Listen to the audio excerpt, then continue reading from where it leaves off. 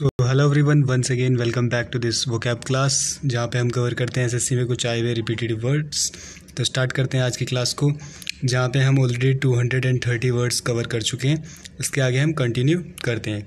देखते हैं आज का फ़र्स्ट वर्ड अनोनमस ये वर्ड बहुत ही ईजी है अनोनमस मतलब अननोन आपने कहीं देखा हुआ कुछ लोग जो कहानियाँ वगैरह लिखते हैं या कोई स्टोरी लिखते हैं, उसके नीचे लिख देते हैं अननोन ठीक है? तो इंस्टीड ऑफ़ अननोन आप यूज़ कर सकते हो अनोनमस इसका मतलब क्या होता है? गुमनाम।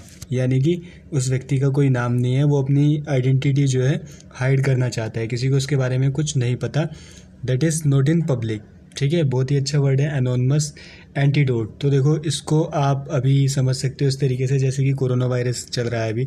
कोरोना वायरस के लिए दवाई ढूंढी जा रही है, ठीक है? तो ऐसी कोई चीज़ ढूंढी जा रही है जिससे कि हम क्या कर सकें, इसको ख़त्म कर सकें। किस चीज़ को? कोरोना वायरस के इफ़ेक्ट को ख़त्म कर सकें एंटीडोट बना सकें जहर नाशक बोलते हैं उसको हिंदी में। ठीक है, बहुत ही इजी है और आजकल यूजुअली ये चल भी रहा है यूज़ में भी है वर्ड एंटीसेप्टिक देखो भाई एंटीसेप्टिक क्या होता है?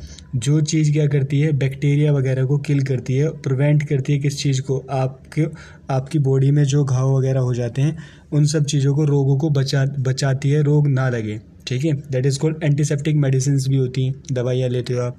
ठीक है?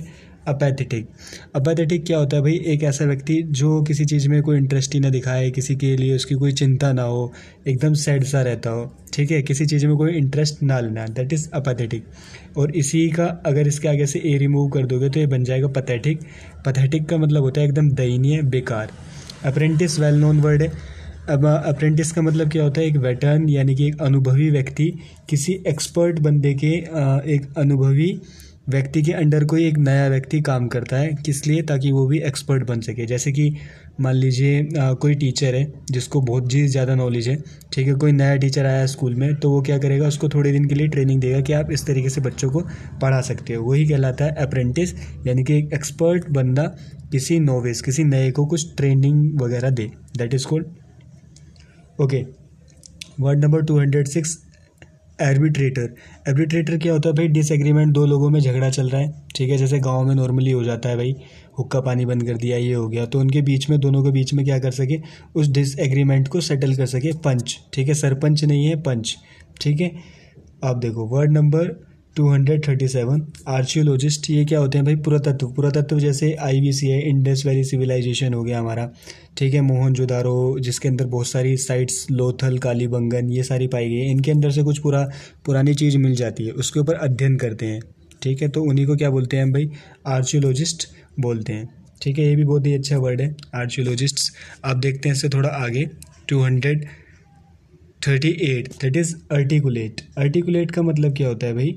जो बोलने का तरीका होता है, वो काफ़ी अच्छा हो। वर्ड्स को एकदम एक्सप्रेसिंग मैनर में कोई बंदा अपनी क्लियर भाव को, किसी चीज़ को समझा सके एक्सप्रेस कर सके उसको, चाहे आइडियाज़ हो, चाहे फीलिंग हो, एकदम क्लियरली स्पष्ट, उसी को बोलते हैं आर्टिकुलेट आर्टिकुलेट स्पीकर यानी कि एक अच्छे स्पीकर हो स्पीच भी हो सकती है। तो कोशिश करें सभी आर्टिकुलेट स्पीकिंग करें भाई एकदम बढ़िया तरीके से जिसको समझ में आ सके। Word number two hundred thirty nine artist कलाकार a person who creates words for art painting जो पेंटिंग बनाता हो। ऐसी पेंटिंग नहीं भाई अच्छी अच्छी सी पेंटिंग बनाता हो कोई व्यक्ति, उसको हम क्या बोलते हैं? उसको हम बोलते हैं आर्टिस्ट एवराइज इसका मतलब क्या होता है भाई? लालची।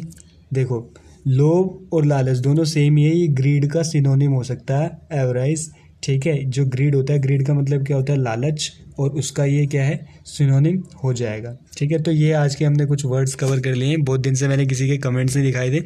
देखते हैं, कुछ लोगों ने बहुत ही अच्छे कमेंट्स किए हैं भाई। विपिन जहांगीर जी हैं डी के डी क्रिएशन सर हैं, सरिता टेक्निकल अवधेश और अमित। बहुत ही लोग कमेंट करते हैं कभी कभी लेकिन टाइम नहीं मिल पाता है, इसलिए मैं इंक्लूड नहीं कर पाता उस सेशन में। ठीक है? So that's all for today मिलते हैं आपसे नेक्स्ट क्लास में। जय हिंद, जय Bharat stay safe stay Hind thank you